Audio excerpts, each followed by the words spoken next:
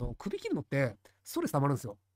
あの、結局その、僕、首切るのめっちゃ苦手なんですよね。